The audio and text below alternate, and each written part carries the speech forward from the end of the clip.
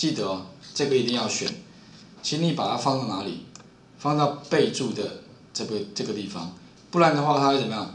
把它盖过去，后面东西全部不见了，哦，特别号也不见了，所以 我们把它选这个，选 F 二好了，不然它原来是 C 二哈，按确定按完成就可以。这个时候它会做什么呢？它会把这些分割分割分割，那可是有逗点的地方，按 Ctrl 键做什么呢？按右键删除掉，有没有发现？一二三四五六，哎有没有？那这六栏这六栏，我再怎么样呢？把它，哎就格式里面有个自动调整栏宽，让它自动调整栏栏宽一下。好，啊上面的部分怎么样？在跨栏之中，把这个名称怎么样？复制一下，好，然后 贴到这边一下，再把 C 栏的地方怎么样？删掉。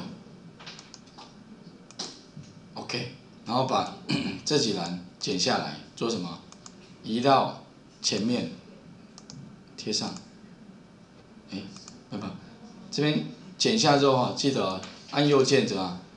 插入，不是贴上，是插入剪下的储存格。有没有过来了？OK，应该懂我在做什么了哈。只是说动作可能有点快了哈，我再把细节。分解动作跟各位讲一下，一，你们已经先把资料哈先做出来了，对？好，类似像这样，诶，原来像这样，一把这个选起来，记得一定要先选哦，资料里面有个资料剖析，资料剖析里面呢选择分隔符号的空格，最后这个记得选这边，把它按完成，再把不需要的删掉。再把这些栏怎么样调整一下栏宽，然后你可以用自动调整或者自己手动调整，再把这边跨栏自重一下，跨栏自重一下，啊名称怎么样改成 这个乐透彩，把这一栏删掉，把这这六栏移过去就好了。OK 试试看好了哈，来画面先换给各位一下哈。那这样做完的资料哈就可以。呃，是我们要的资料啊，一样的方法哈，你可以统计出我们要的结果了哈。把重点再提示一下，因为我发现你们对这三真的不熟哦。来，第一步哦，一选取。第二步怎么了？哎，资料里面的资料剖析，剖析的话，哎，分隔符号的下一步，空格下一步。哦，然后最后这个地方。选择什么？F 二，这个如果没有选的话哈，就会错了，会盖过去。选到这边，把这个东西剖析完放在这里。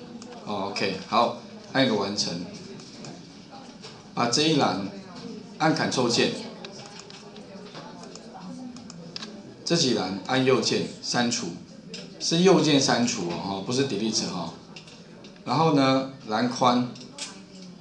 栏宽你可以这样调整，或者是说哈，常用里面有一个格式自动调整栏宽，哦，因为很多同学可能找不到了，常用格式自动调整，哦，因为可能你们不常用啊，所以哦找不到功能。OK，好，格式，好，最后呢这个地方记得跨栏自重一下，把这个名称怎么样搬过去。